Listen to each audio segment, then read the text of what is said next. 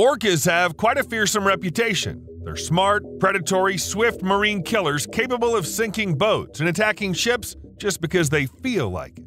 However, despite all this, orcas almost never attack people in the wild. Furthermore, all aggressive encounters between orcas and humans happen under specific circumstances. And yes, when an orca does attack a boat with humans, it goes after the boat itself, not the people. Orcas have encountered humans in the ocean for centuries. Yet, despite not being the friendliest neighbors, they strangely refrain from attacking. It's, well, pretty odd to say the least.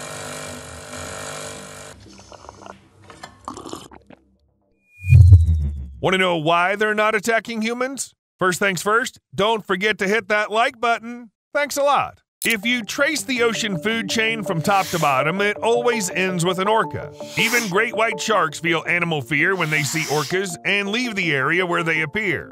But we find orcas cute because they don't attack us. Sure, they attack boats, but only boats. Orcas don't care about the crew. Moreover, there are areas in the world where people often find themselves in the water together with orcas, and even then they don't attack. Although people, compared to great white sharks, are much more defenseless and orcas have plenty of opportunities to take advantage of this, why don't orcas attack? Scientists probably won't ever come up with a complete and final answer, like some absolute truth. Think about it. We're dealing with smart animals passing down generations of their own culture, yet we can't even talk to them. All we can do is make guesses. And experts have a few theories about why they don't attack, and all these theories make sense. One reason is that orcas are just really picky eaters. Moreover, they're quite traditional, with each pod having its own preferences that the animals stick to. Anything outside of their usual menu isn't considered food, including humans. Young orcas pick up eating habits from their mothers and stick to them because orcas actually highly value their traditions. It might sound odd when talking about animals. For instance, in the eastern Canadian Arctic, half of the orcas mainly feed on belugas and narwhals, while the other half primarily prey on ringed seals. In Greenland, orcas consume all available prey, while in Iceland, the Faroe Islands, and Norway, most orcas eat herring. However, a small number of orcas in Norway and Iceland also consume a significant portion of marine mammals like porpoises and seals. While all orcas are considered one species, they can be differentiated by their physical characteristics like fin shape, size, and saddle patches, as well as by their behavior and diet. In some cases, orcas that only eat fish play with marine mammals and kill them, but they don't consume them, even when the pod is hungry. The main reason they do this is because of a cultural taboo against consuming marine mammals. It's quite likely that this taboo extends to humans as well. If it's all about culture, people are off the menu simply because they've never been on it before, and it's in our best interest to keep it that way.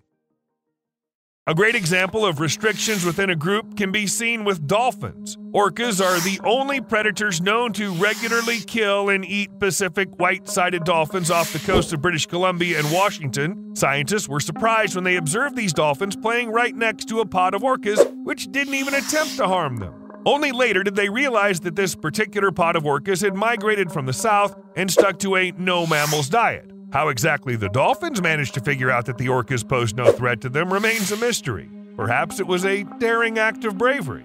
Let's not forget orcas are known for their adaptability, so if they ever decide to break their taboos and start hunting us, they'll do it effortlessly. Besides, orcas can indeed hunt marine animals for practice or even fun. It's unclear why they don't consider humans as subjects for such cruel games.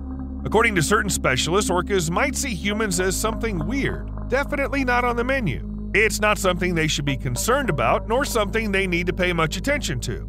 Other experts believe that in the wild, orcas generally follow a pretty universal rule don't attack uh-huh. humans. This is probably due to both biological and cultural reasons. Orcas have been around for about 11 million years, while we humans are relatively new on the scene. We might not match up to them physically, but clearly they've decided we're worth coexisting with.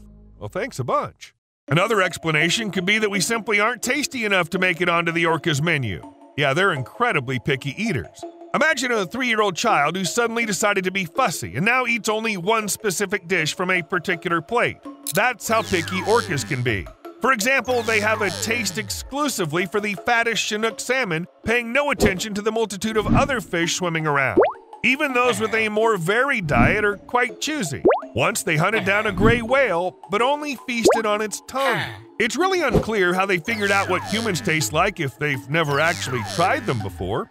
maybe the sharks told them. Another reason why orcas might not eat us is that we don't look like any of the things they usually snack on.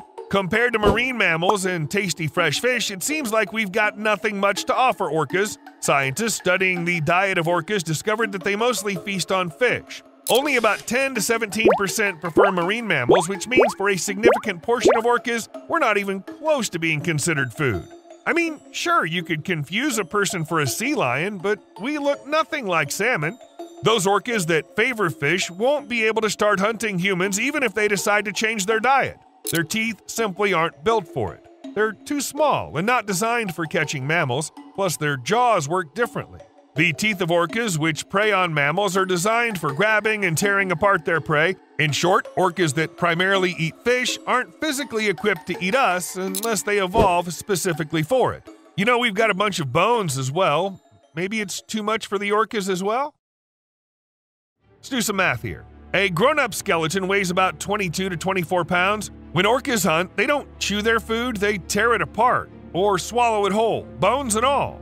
Considering that orcas can weigh over 6 tons, 22 pounds of bones wouldn't be a big deal for them, so it's not really about the bones. It's about the nutritional value. Orcas need to consume around 170,000 calories every day. That's about how many calories 85 people eat in a day. Yep, they're that voracious, considering their size. Scientists, not Hannibal Lecter types, figured out that there are roughly 126,000 calories in one person. So, what does this mean? Well, we already know that most orcas stick to a strict diet, so if some pod were to suddenly start eating people, they'd only be interested in humans. Fish and other marine animals wouldn't be on the menu anymore. And here's the thing an adult orca needs to consume at least one person a day, ideally two, to survive. Of course, it depends on the calorie content of each particular human. Orcas don't often live alone, they tend to hang out in groups of 5 to 30, but sometimes they get together in packs of 50 or more. So imagine a group like that would need to eat anywhere from 9 to 50 people every single day. That's just crazy. Where would they find that many people to snack on? Especially in colder areas where people aren't exactly lining up to take a dip in the water and become orca snacks. Let's take sharks. They kill about 10 people a year. That's roughly 0.02 people per day because they just can't manage more. While orcas inhabit nearly every corner of the globe, they rarely come across areas heavily populated by humans, so it seems like hunting humans wouldn't make much sense for them, and any orca attempting it would be doomed.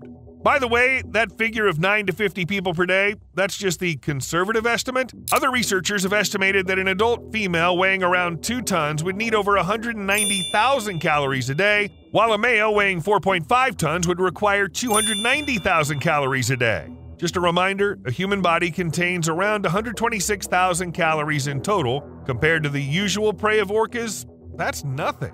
For instance, orcas have a thing for tearing out the livers of sharks, eating only the liver, and leaving the rest of the shark untouched. Once they've chowed down on the liver, they just swim away, leaving the body for other sea creatures. This is because the liver is the most calorie rich part of the shark, and orcas aim to make each hunt as nutritious as possible. Oh, come on, it's just a liver, someone might say. It's not that big compared to a whole shark, and yeah, size wise, that's true. But get this the liver of a great white shark can pack up to 2 million calories. 2 million! When you put it that way, humans don't even come close.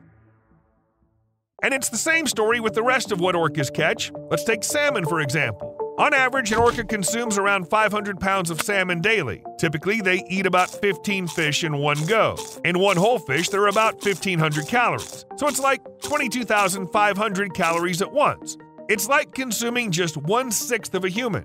It feels like catching salmon might be easier than going for humans, especially considering other marine mammals that orcas feast on. These creatures are way bigger than us, and they carry more fat too, since they swim in cold waters. Porpoises can weigh up to 485 pounds. Dolphins, on the other hand, typically weigh from 176 pounds, which puts them in a close match with humans. However, there are dolphins that weigh as much as 518 pounds, leaving humans far behind. It's a similar story with seals. Their weight starts at 121 pounds minimum, but can go all the way up to a whopping 370 pounds. And they're definitely more nutritious. Not to mention larger prey like whales. A newborn sperm whale can weigh up to a ton. Meanwhile, a newborn blue whale can weigh from 2.2 to 2.7 tons. Yeah, and don't forget, hunting takes both time and energy. and orcas gotta eat every day. That's why they aim for something bigger. Like one gray whale carcass can feed 17 orcas. Sure, taking down a whale takes a lot of effort, but it's still quicker and easier than finding and devouring 30 people. At least whales are already in the ocean. It's not just about calories. Scientists found out that during evolution, cetaceans lost four out of the five basic tastes. They can't tell if food is bitter, sweet, or sour. All they sense is the saltiness of food, and it's gotta be just right. A person weighing 110 pounds usually carries about 0.4 pounds of sodium chloride, which is about 40 teaspoons. Knowing that an orca needs to eat 1.5 to 2 humans, it turns out it would be consuming about 0.8 pounds of sodium chloride daily. But what about their regular diet? Two pounds of seal meat contain about 0.04 ounces of sodium. On average, seals weigh around 154 pounds, so that means each seal carries about 0.17 ounces of sodium chloride. Now let's compare the salt content in humans and seals. Maybe orcas simply understand that we're too salty for them. After all, they don't even need to chew. Humans sweat, producing salt, and orcas are smart enough to realize that. Let's all celebrate this together. Because if they decide to switch to a human diet despite all the problems, what would we even do? Trying to fend off an orca in the water is just not possible. On June 13, 2022, a trainer violated safety rules by reaching into the mouth of an orca she was working with. The orca bit the woman. Even though the orca let go of the trainer immediately, she needed urgent medical help. Surprisingly, just one bite led to multiple fractures in her forearm and wrist, despite the orca tipping the scales at a mere 2.5 tons. Not that big, really. Now imagine encountering a truly massive orca in the water. If such an orca decides to attack a person, it wouldn't just bite them, it would devour them. Surviving such an encounter would be impossible. Death would be quick and certain. There could be methods to resist these attacks, but we need orcas to actually start attacking to figure them out. You learn by doing, you know? A man in Kauai fought off a shark by jamming his fingers into its nostrils. Would that work with an orca?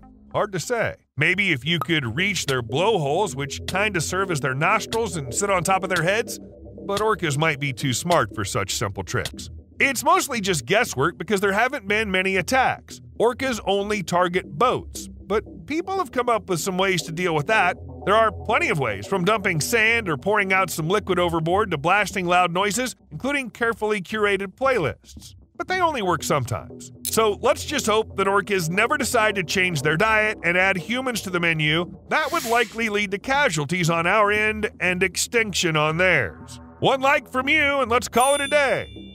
See you later.